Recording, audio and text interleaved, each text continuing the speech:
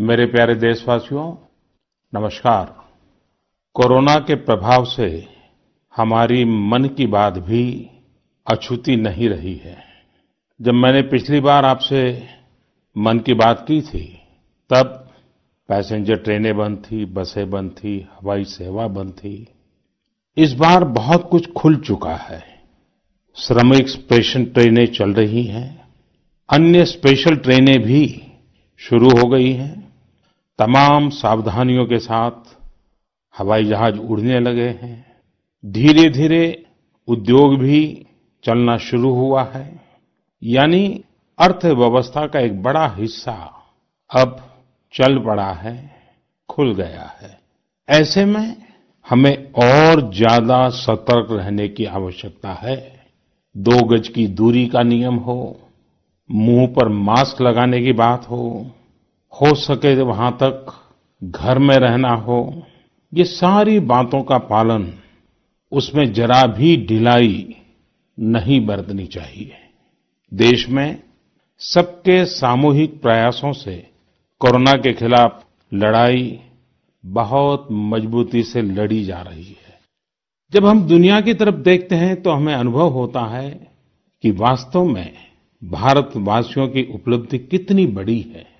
हमारी जनसंख्या ज़्यादातर देशों से कई गुना ज़्यादा है। हमारे देश में चुनौतियाँ भी भिन्न प्रकार की हैं। लेकिन फिर भी हमारे देश में कोरोना उतनी तेज़ी से नहीं फैल पाया जितना दुनिया के अन्य देशों में फैला। कोरोना से होने वाली मृत्यु दर भी हमारे देश में काफ़ी कम है।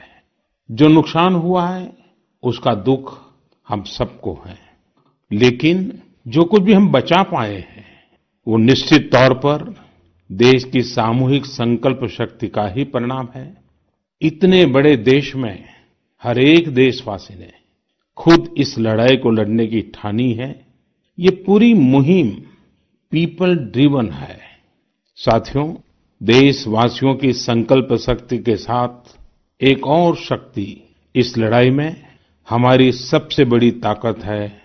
वो है देशवासियों की सेवा शक्ति। वास्तव में इस महामारी के समय हम भारतवासियों ने ये दिखा दिया है कि सेवा और त्याग का हमारा विचार केवल हमारा आदर्श नहीं है, बल्कि भारत की जीवन पद्धति है। और हमारे यहाँ तो कहा गया है, सेवा परमो धर्म। सेवा स्वयं में सुख है। सेवा में ही संतोष है। आपने देखा होगा कि दूसरों की सेवा में लगे व्यक्ति के जीवन में कोई डिप्रेशन या तनाव कभी नहीं दिखता।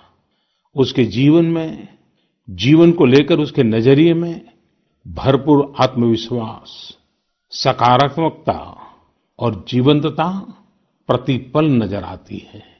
साथियों, हमारे डॉक्टर्स, नर्सिंग स्टाफ सफ़ाई कर्मी पुलिसकर्मी, मीडिया के साथी, ये सब जो सेवा कर रहे हैं, उसकी चर्चा मैंने कई बार की है। मन की बात में भी मैंने उसका ज़िक्र किया है। सेवा में अपना सब कुछ समर्पित कर देने वाले लोगों की संख्या अनगिनत है। ऐसे ही एक सज्जन है तमिलनाडु के सी मोहन। सी मोहन जी मदुरई में एक सैलून चलाते हैं। अपनी मेहनत की कमाई से इन्होंने अपनी बेटी की पढ़ाई के लिए पाँच लाख रुपए बचाए थे। लेकिन इन्होंने ये पूरी राशि इस समय जरूरतमंदों, गरीबों की सेवा के लिए खर्च कर दी। इसी तरह अगरतला में ठेला चलाकर जीवन यापन करने वाले गौतम दास जी अपनी रोज़मर्रा की कमाई की बचत में से हर रोज दाल चावल खरीदकर जरूरतमंदों को खाना खिला रहे हैं। पंजाब के पठानकोट से भी एक ऐसा ही उदाहरण मुझे पता चला। यहाँ दिव्यांग भाई राजू ने दूसरों की मदद से जोड़ी गई छोटी सी पूंजी से तीन हज़ार से अधिक मास्क बनवाकर लोगों में बांटे। भाई राजू ने इस मुश्किल समय में करीब सौ परिवारों के लिए खाने का राशन भी जुटाया। देश के सभी इलाकों से वूमेन सेल्फ हेल्प ग्रुप के परिश्रम की भी अनगिनत कहानियाँ इन दिनों हमारे सामने आ रही है। गाँवों में, छोटे कस्बों में हमारी बहनें, बेटियाँ हर दिन हज़ारों की संख्या में मास्क बना रही हैं। तमाम सामाजिक संस्थाएँ भी इस काम में इनका सहयोग कर रही हैं। साथियों ऐसे कितने ही उदाहरण हर दिन दिखाई और सुनाई पड़ रहे हैं। कितने ही लोग खुद भी मुझे नमो ऐप और अन्य माध्यमों के ज़रिए अपने प्रयासों के बारे में बता रहे हैं। कई बार समय की कमी के चलते मैं बहुत से लोगों का, बहुत से संगठनों का, बहुत सी संस्थाओं का नाम नहीं ले पाता हूँ। सेवाभाव से लोगों की मदद कर रहे ऐसे सभी लोगों की मैं प्रशंसा करता हूँ, उनका आदर करता हूँ, उनका तहे दिल से अभिनंदन करता हूँ। मेरे प्यारे देशवासियों, एक और बात जो मेरे मन को छू गई है, वो है संकट की इस घड़ी में इनोवेशन तमाम देशवासी गाँवों से लेकर शहरों तक, हमारे छोटे व्यापारियों से लेकर स्टार्टअप तक, हमारी लैब्स कोरोना के खिलाफ लड़ाई में नए नए तरीके ईजाद कर रहे हैं नए नए इनोवेशन कर रहे हैं। जैसे नासिक के राजेंद्र यादव का उदाहरण बहुत दिलचस्प है। राजेंद्र जी, नासिक में सतना गाँव के किसान हैं। अपने गाँव को कोरोना संक्रमण से बचाने के लिए उन्होंने अपने ट्रैक्टर से जोड़कर एक सैनिटाइजेशन मशीन बना ली है और ये इनोवेटिव मशीन बहुत प्रभावी तरीके से काम कर रही है। इसी तरह मैं सोशल मीडिया में कई तस्वीरें देख रहा था। कई दुकानदारों ने दो गज की दूरी के लिए दुकान में बड़े पाइपलाइन लगा लिए हैं, जिसमें एक छोर से वो ऊपर से सामान डालते हैं और दूसरी छोर से ग्राहक अपना सामान ले लेते हैं। इस दौरान पढ़ाई के क्षेत्र में भी कई अलग अलग इनोवेशन शिक्षकों और छात्रों ने मिलकर किए हैं। ऑनलाइन क्लासेस, वीडियो क्लासेस, उसको भी अलग अलग तरीकों से इनोवेट किया जा रहा है। कोरोना की वैक्सीन पर हमारी लैब्स में जो काम हो रहा है, उस पर तो दुनिया भर की नज़र है और हम सबकी आशा भी। किसी भी परिस्थिति को बदलने के लिए इच्छा शक्ति के साथ ही बहुत कुछ इनोवेशन पर भी निर्भर करता है। हज़ारों सालों की मानव जात की यात्रा लगातार इनोवेशन से ही इतने आधुनिक दौर में पहुँची है। इसलिए इस महामारी पर जीत के लिए हमारी ये विशेष इनोवेशंस भी बहुत बड़ा आधार है। साथियों, कोरोना के खिलाफ लड़ाई का यह रास्ता लंबा है। एक ऐसी आपदा जिसका पूरी दुनिया के पास कोई इलाज ही नहीं है, जिसका कोई पहले का अनुभव भी नहीं है। तो ऐसे में नई नई चुनौतियाँ और उसके कारण परेशानियाँ हम अनुभव भी कर रहे हैं। ये दुनिया के हर कोरोना प्रभावित देश में हो रहा है और इसलिए भारत भी इससे अछूता नहीं है। हमारे देश में भी कोई वर्ग ऐसा नहीं है जो कठिनाई में न हो, परेशानी में न हो। और इस संकट की सबसे बड़ी चोट अगर किसी पर पड़ी है तो हमारे गरीब, मजदूर, श्रमिक वर्ग पर पड़ी है। उनकी तकलीफ़, उनका दर्द, उनकी पीड़ा शब्दों में नहीं कही जा सकती। हम में से कौन ऐसा होगा जो उनकी और उनके परिवार की तकलीफों को अनुभव न कर रहा हो? हम सब मिलकर इस तकलीफ़ को, इस पीड़ा को बांटने का प्रयास कर रहे हैं। पूरा देश प्रयास कर रहा है। हमारे रेलवे के साथ दिन रात लगे हुए हैं। केंद्र हो, राज्य हो, स्थानीय स्वराज की संस्थाएँ हो, हर कोई दिन रात मेहनत कर रहे हैं। जिस प्रकार रेलवे के कर्मचारी आज जुटे हुए हैं, वे भी एक प्रकार से अग्रिम पंक्ति में खड़े कोरोना वॉरियर्स ही है। लाखों श्रमिकों को ट्रेनों से और बसों से सुरक्षित ले जाना, उनके खाने पीने की चिंता करना, हर ज़िले में क्वारंटाइन केंद्रों की व्यवस्था करना, सभी की टेस्टिंग, चेकअप, उपचार की व्यवस्था करना, ये सब काम लगातार चल रहे हैं और बहुत बड़ी मात्रा में चल रहे हैं। लेकिन साथियों, जो दृश्य आज हम देख रहे हैं, इससे देश को अतीत में जो कुछ हुआ, उसके अवलोकन और भविष्य के लिए सीखने का अवसर भी मिला है। आज हमारे श्रमिकों की पीड़ा में हम देश के पूर्वी हिस्से की पीड़ा को देख सकते हैं, जिस पूर्वी हिस्से में देश का ग्रोथ इंजन बनने की क्षमता है, जिसके श्रमिकों के बाहुबल में देश को नई ऊंचाई पर ले जाने का सामर्थ्य है, उस पूर्वी हिस्से का विकास बहुत आवश्यक है। पूर्वी भारत के विकास से ही देश का संतुलित आर्थिक विकास संभव है। देश ने जब मुझे सेवा का अवसर दिया, तभी से हमने पूर्वी भारत के विकास को प्राथमिकता दी है।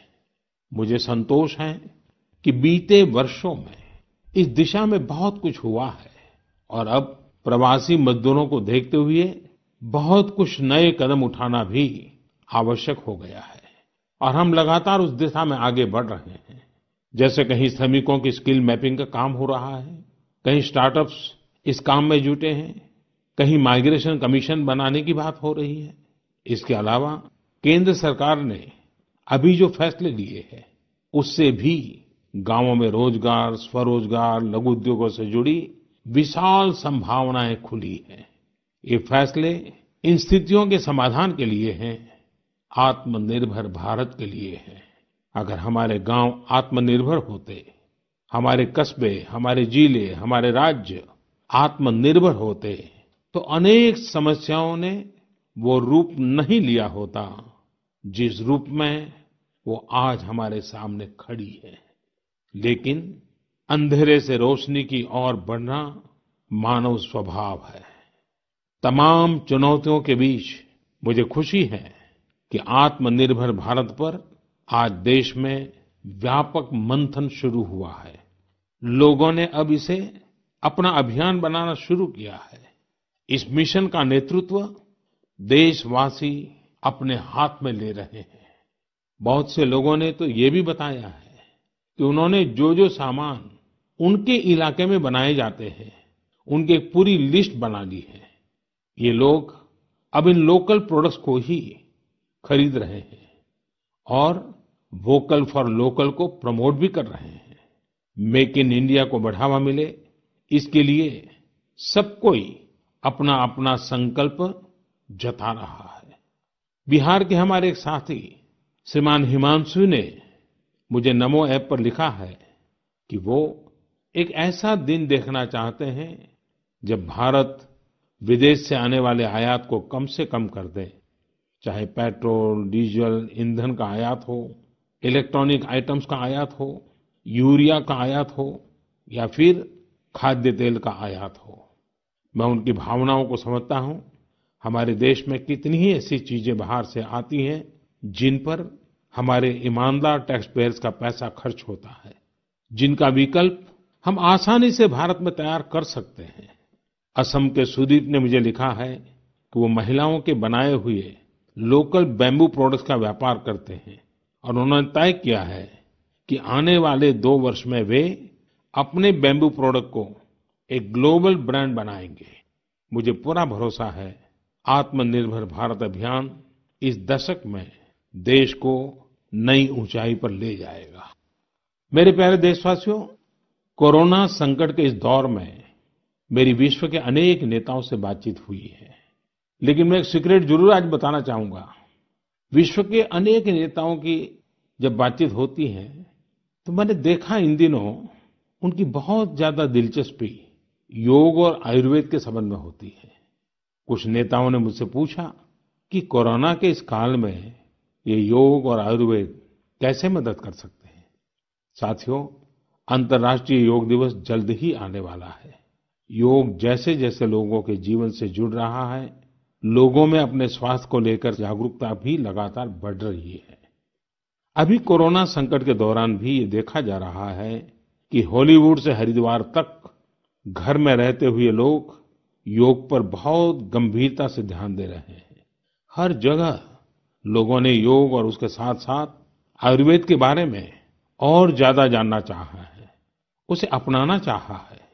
कितने ही लोग जिन्होंने कभी योग नहीं किया वे भी या तो ऑनलाइन योग क्लास से जुड़ गए हैं या फिर ऑनलाइन वीडियो के माध्यम से भी योग सीख रहे हैं। सही में योग कम्युनिटी इम्यूनिटी और यूनिटी सबके लिए अच्छा है। साथियों, कोरोना संकट के इस समय में योग आज इसलिए भी ज़्यादा अहम है क्योंकि ये वायरस हमारे रेस्पिरेटरी सिस्टम को सबसे अधिक प्रभावित करता है। योग में तो रेस्पिरेटरी सिस्टम को मज़बूत करने वाले कई तरह के प्राणायाम है, जिनका असर हम लंबे समय से देखते आ रहे हैं। ये टाइम टेस्टेड टेक्निक्स हैं, जिसका अपना अलग महत्व है। कपालभाति और अनुलोम विलोम प्राणायाम से अधिकतर लोग परिचित होंगे, लेकिन भस्त्रिका शीतली, भ्रामरी जैसे कई प्राणायाम के प्रकार है। जिसके अनेक लाभ भी है, वैसे आपके जीवन में योग को बढ़ाने के लिए आयुष मंत्रालय ने भी इस बार एक अनोखा प्रयोग किया है। आयुष मंत्रालय ने माय लाइफ माय योग नाम से अंतर्राष्ट्रीय वीडियो ब्लॉग उसकी प्रतियोगिता शुरू की है। भारत ही नहीं, पूरी दुनिया के लोग इस प्रतियोगिता में हिस्सा ले सकते हैं। इसमें हिस्सा लेने के लिए आपको अपना तीन मिनट का एक वीडियो बना करके अपलोड करना होगा। इस वीडियो में आप जो योग या आसन करते हुए, वो करते हुए दिखाना है और योग से आपके जीवन में जो बदलाव आया है, उसके बारे में भी बताना है। मेरा आपसे अनुरोध है, आप सभी इस प्रतियोगिता में अवश्य भाग लें और इस नए तरीके से अंतर्राष्ट्रीय योग दिवस में आप हिस्सेदार बनिए। साथियों, हमारे देश में करोड़ों करोड़ गरीब दशकों से एक बहुत बड़ी चिंता में रहते आए हैं। अगर बीमार पड़ गए तो क्या होगा? अपना इलाज कराएँ या फिर परिवार के लिए रोटी की चिंता करें? इस तकलीफ़ को समझते हुए, इस चिंता को दूर करने के लिए ही करीब डेढ़ साल पहले आयुष्मान भारत योजना शुरू की गई थी। कुछ ही दिन पहले आयुष्मान भारत के लाभार्थियों की संख्या एक करोड़ के पार हो गई है। एक करोड़ से ज़्यादा मरीज़ मतलब देश के एक करोड़ से अधिक परिवारों की सेवा हुई है। एक करोड़ से ज़्यादा मरीज़ का मतलब क्या होता है मालूम है?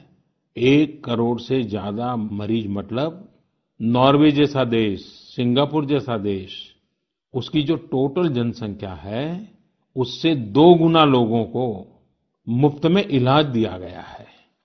अगर गरीबों को अस्पताल में भर्ती होने के बाद इलाज के लिए पैसे देने पड़ते, इनका मुफ़्त इलाज नहीं हुआ होता तो उन्हें एक मोटा मोटा अंदाज है। करीब करीब चौदह हज़ार करोड़ रुपए से भी ज़्यादा अपनी जेब से खर्च करने पड़ते हैं। आयुष्मान भारत योजना ने गरीबों के पैसे खर्च होने से बचाए हैं। मैं आयुष्मान भारत के सभी लाभार्थियों के साथ साथ मरीजों का उपचार करने वाले सभी डॉक्टरों, नर्सेस और मेडिकल स्टाफ को भी बधाई देता हूँ। आयुष्मान भारत योजना के साथ एक बहुत बड़ी विशेषता पोर्टेबिलिटी की सुविधा भी है। पोर्टेबिलिटी ने देश को एकता के रंग में रंगने में भी मदद की है। यानी बिहार का कोई गरीब अगर चाहे तो उसे कर्नाटका में भी वही सुविधा मिलेगी जो उसे अपने राज्य में मिलती। इसी तरह महाराष्ट्र का कोई गरीब चाहे तो उसे इलाज की वही सुविधा तमिलनाडु में मिलती।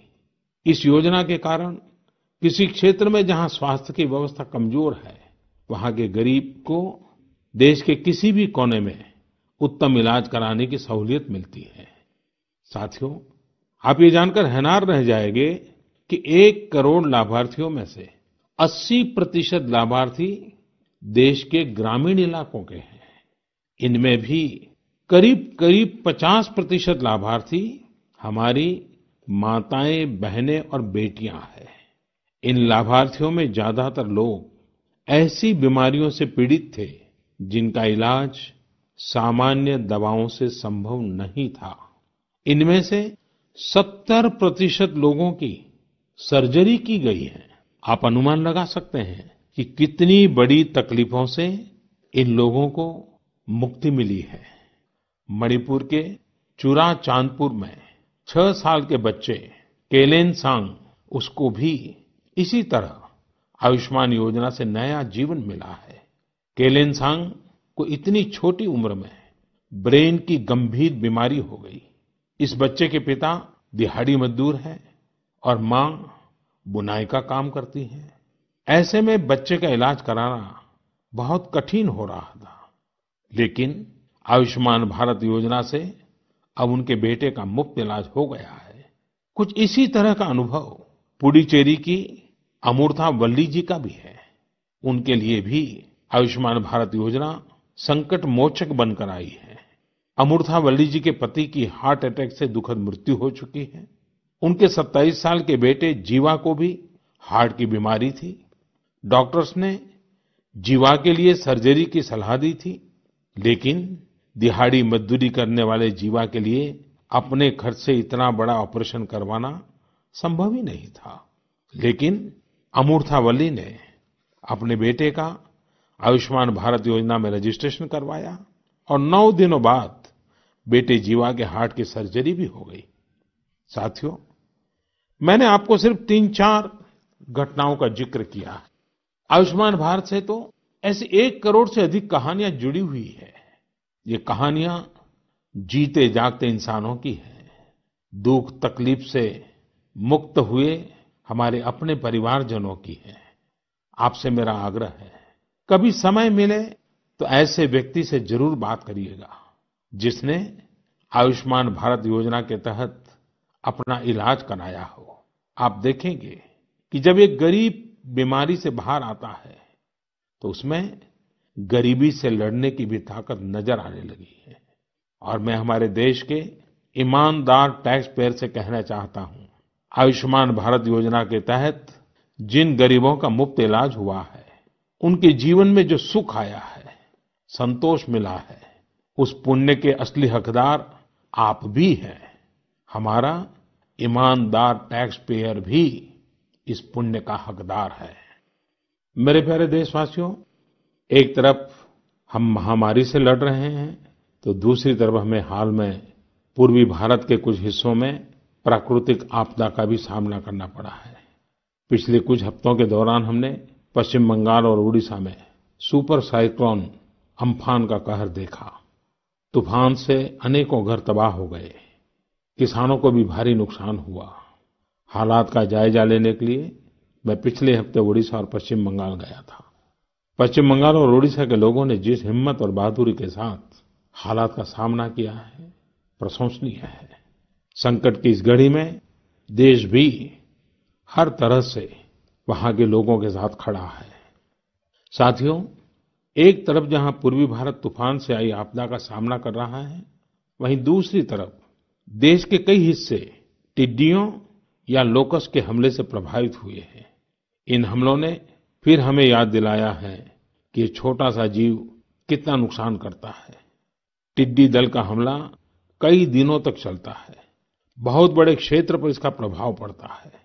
भारत सरकार हो, राज्य सरकार हो, कृषि विभाग हो, प्रशासन भी इस संकट के नुकसान से बचने के लिए किसानों की मदद करने के लिए आधुनिक संसाधनों का भी उपयोग कर रहा है। नए नए आविष्कार की तरफ़ भी ध्यान दे रहा है और मुझे विश्वास है कि हम सब मिलकर के हमारे कृषि क्षेत्र पर ये जो संकट आया है, उससे भी लोहा लेंगे, बहुत कुछ बचा लेंगे। मेरे प्यारे देशवासियों, कुछ दिन बाद ही 5 जून को पूरी दुनिया विश्व पर्यावरण दिवस मनाएगी। विश्व पर्यावरण दिवस पर इस साल की थीम है बायोडायवर्सिटी यानी जैव विविधता। वर्तमान परिस्थितियों में यह थीम विशेष रूप से महत्वपूर्ण है। लॉकडाउन के दौरान पिछले कुछ हफ्तों में जीवन की रफ्तार थोड़ी धीमी ज़रूर हुई है, लेकिन इससे हमें अपने आसपास प्रकृति की समृद्ध विविधता को, जैव विविधता को करीब से देखने का अवसर भी मिला है। आज कितने ही ऐसे पक्षी जो प्रदूषण और शोर शराबे में ओझल हो गए थे, सालों बाद उनकी आवाज़ को लोग अपने घरों में सुन रहे हैं। अनेक जगहों से जानवरों के उन्मुक्त विचरण की खबरें भी आ रही हैं। मेरी तरह आपने भी सोशल मीडिया में ज़रूर इन बातों को देखा होगा, पढ़ा होगा। बहुत लोग कह रहे हैं, लिख रहे हैं, तस्वीरें साझा कर रहे हैं कि वो अपने घर से दूर दूर पहाड़ियाँ देख पा रहे हैं। दूर दूर जलती हुई रोशनी देख रहे हैं। इन तस्वीरों को देखकर कई लोगों के मन में ये संकल्प उठा होगा, क्या हम उन दृश्यों को ऐसे ही बना रख सकते हैं? इन तस्वीरों ने लोगों को प्रकृति के लिए कुछ करने की प्रेरणा भी दी है। नदियाँ सदा स्वच्छ रहें, पशु पक्षियों को भी खुलकर जीने का हक मिले, आसमान भी साफ़ सुथरा हो। इसके लिए हम प्रकृति के साथ तालमेल बिठाकर जीवन जीने की प्रेरणा ले सकते हैं। मेरे प्यारे देशवासियों, हम बार बार सुनते हैं, जल है तो जीवन है, जल है तो कल है, लेकिन जल के साथ हमारी जिम्मेवारी भी है। वर्षा का पानी, बारिश का पानी, ये हमें बचाना है। एक एक बूंद को बचाना है। गांव-गांव वर्षा के पानी को हम कैसे बचाएँ? परंपरागत बहुत सरल उपाय हैं। उन सरल उपाय से भी हम पानी को रोक सकते हैं। पाँच दिन, सात दिन भी अगर पानी रुका रहेगा तो धरती माँ के पास बुझाएगा। पानी फिर ज़मीन में जाएगा। वही जल जीवन की शक्ति बन जाएगा। और इसलिए इस वर्षा ऋतु में हम सबका प्रयास रहना चाहिए कि हम पानी को बचाएँ। पानी को संरक्षण करें। मेरे प्यारे देशवासियों, स्वच्छ पर्यावरण सीधे हमारे जीवन, हमारे बच्चों के भविष्य का विषय है। इसलिए हमें व्यक्तिगत स्तर पर भी इसकी चिंता करनी होगी। मेरा आपसे अनुरोध है कि इस पर्यावरण दिवस पर कुछ पेड़ अवश्य लगाएँ और प्रकृति की सेवा के लिए कुछ ऐसा संकल्प अवश्य लें जिससे प्रकृति के साथ आपका हर दिन का रिश्ता बना रहे हाँ। गर्मी बढ़ रही है, इसलिए पक्षियों के लिए पानी का इंतज़ाम करना मत भूलिएगा।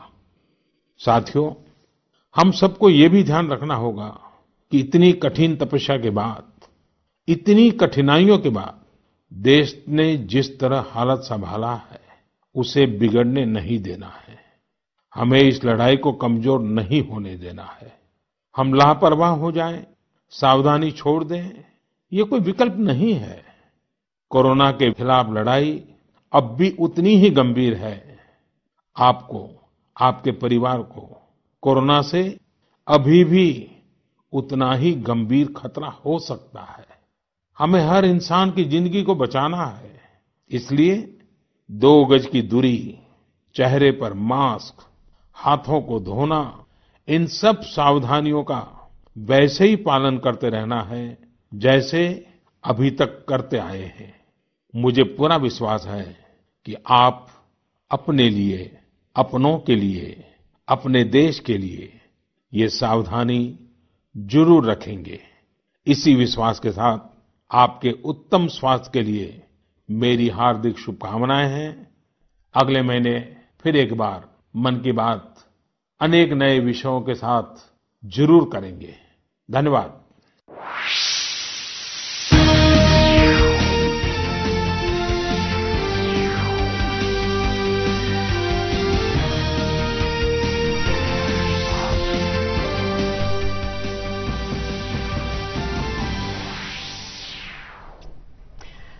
नमस्कार, आप देख रहे थे प्रधानमंत्री की मन की बात जिसमें प्रधानमंत्री ने एक बार फिर से आत्मनिर्भर भारत का अभियान किया आह्वान किया है। भारत की आत्मनिर्भरता की बात की है, तमाम क्षेत्रों में चुनौतियों की बात ज़रूर की है, लेकिन ये भी कहा कि चुनौतियों